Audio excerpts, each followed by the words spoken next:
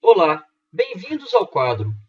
Vamos agora falar sobre operações na forma exponencial de números complexos. A grande vantagem de se utilizar a forma exponencial dos números complexos é que as operações podem ser feitas diretamente utilizando apenas as propriedades da função exponencial. Então, considere que nós temos dois números. Z1 igual a ρ1, que é o argumento de Z1, vezes cosseno de θ1 mais i vezes seno de θ1, onde θ1 é o argumento de Z1, e Z2 igual a ρ2, que é o módulo de Z2, vezes cosseno de θ2, θ2 é o argumento de Z2, mais i vezes seno de θ2.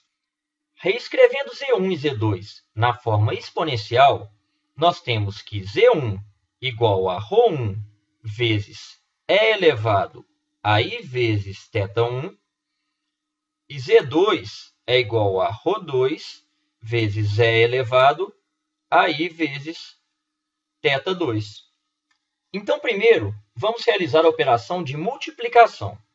Então, Z1 vezes Z2 é igual a ρ1 vezes e elevado a i θ1 vezes ρ2 vezes e elevado a i θ2.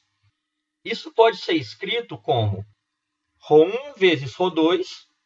Na multiplicação da função exponencial, nós mantemos a base, que é a função exponencial, e somamos o expoente. Somando esses dois expoentes, nós teremos e elevado a i vezes θ1 mais θ2. Então, nós observamos diretamente que a multiplicação de Z1 vezes Z2 resulta em um número que tem como módulo a multiplicação de ρ1 vezes ρ2 e como argumento a soma de θ1 com θ2. Então, agora vamos falar sobre a divisão.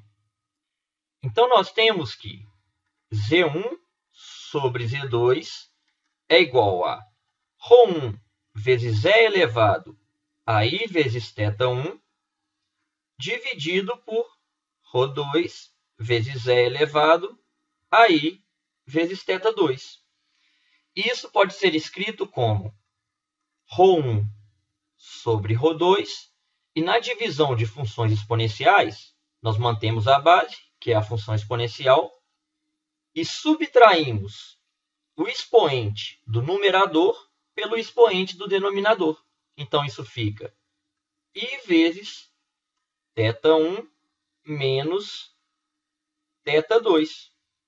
Então, a gente observa que na divisão de números complexos, o módulo do número resultante é igual à divisão dos módulos, ρ1 sobre ρ2, e o argumento resultante é igual à diferença entre o argumento do numerador e o argumento do denominador. Finalmente, vamos falar sobre a potenciação na forma exponencial. Então, nós temos que z1 elevado a n, onde n é um número natural, vai ser igual a ρ1 vezes e elevado a i vezes θ1, isso tudo elevado a n. Mas isso é igual a ρ1 elevado a n, e essa parte da função exponencial elevada a n, basta multiplicar o n pelo expoente original.